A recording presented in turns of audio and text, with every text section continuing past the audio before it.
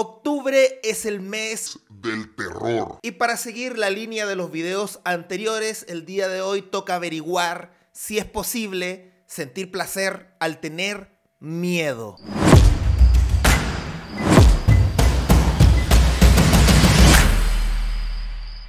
Ya vimos en los dos videos anteriores cómo se produce el miedo, pero después de que el miedo se produce, también existe un efecto llamado el efecto pareja. Un buen ejemplo de esto es cuando tienes una pareja y están viendo una película de terror e instintivamente ambos se abrazan. Específicamente se abrazan por el miedo. Y pues sí, se hizo un experimento al respecto. En 1989 se descubrió que el atractivo sexual aumenta a medida que aumenta el miedo. Y pues este experimento se ha repetido muchas veces a través de estadística. Eh, por ejemplo, había una científica que se paró en un puente de estos colgantes y le hacía preguntas a las personas que iban pasando. Y pues la mayoría la encontró más atractiva que cuando hacía lo mismo a nivel de suelo. Por eso algunos dicen que tu primera cita tal vez debería ser en un parque de diversiones en la montaña rusa. Ahora, si bien esto no es literalmente placer por miedo, podemos encontrar personas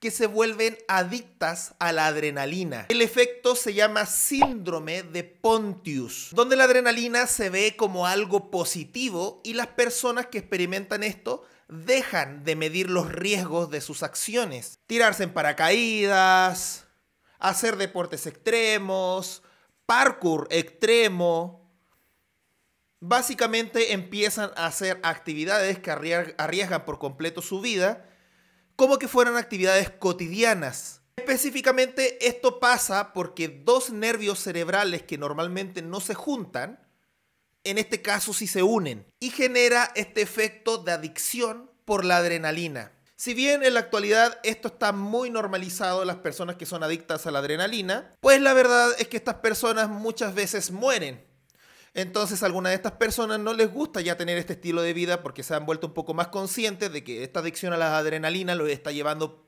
a la muerte literalmente. Y pues se puede buscar un tratamiento para ellos. Y siguiendo la línea del placer por miedo, tenemos lo que se conoce como exhibicionismo leve, donde se experimenta más placer al tener sexo en una situación de riesgo, donde te pueden pillar, donde te pueden encontrar.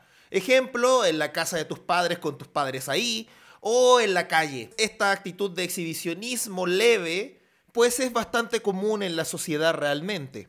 Por último, para terminar esta relación entre lo que es el placer y lo que es el miedo, existe también el miedo al sexo. ¿Qué mamada? A esta condición se le llama erotofobia. Los motivos de cómo llegas a tenerle miedo al sexo lamentablemente están relacionados a traumas sexuales y suelen ser temas bastante delicados que por lo mismo no los voy a tratar en este video, pero creo que se puede deducir el porqué.